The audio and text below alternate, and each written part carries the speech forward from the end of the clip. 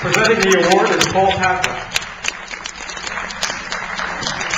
Accepting on behalf of the Cranbury Public Library, its director, Marilyn Mullen.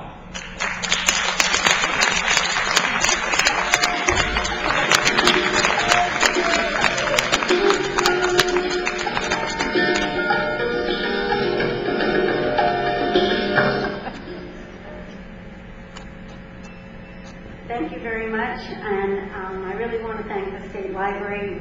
I will say that we really enjoyed all your marketing classes. Um, Not only did a lot of staff take the telecompelling story classes, um, we had board members too to help get the story out um, to the library. But of course, this award really goes to Doug, who did a really great job with this video, and I think he has a little more to finish this story to tell you about. So Congratulations, Doug. Um, yeah, I'll just say uh, a few brief things. Um, I do want to thank the staff, uh, my director, as well as the board of um, our library for being so encouraging of all the different types of projects that I kind of get to do. I pretty much have an, an open hand when it comes to different ideas and trying to do different things, and that's a lot of times rare in a job. So um, I really like to thank them for allowing me to kind of be able to do these types of things.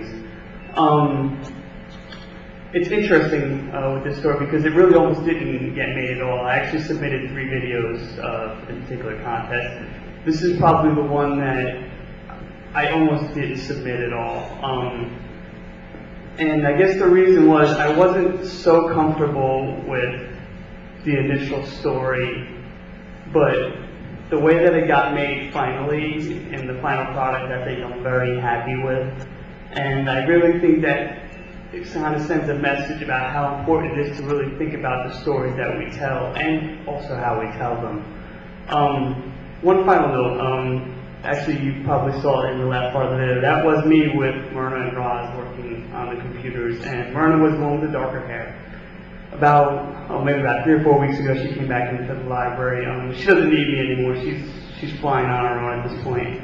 And um, she actually introduced me to uh, a gentleman that she met on one of the websites, um, and they've been together for a couple weeks now. So, um, not to say I'm so foolery or anything, but it was really nice that she came back and introduced me to her friends. So it was really great. Um, so I'd like to thank State Library as well um, for having this contest, and I think it's really important to tell these stories and as librarians to really understand that we do have the ability and the resources to transform lives. And I think if we go to work every day not thinking about am I going to answer reference questions or am I going to catalog a book, but I have the ability to transform a life today, I think that's a really powerful message to be able to send to us. So thank you very much.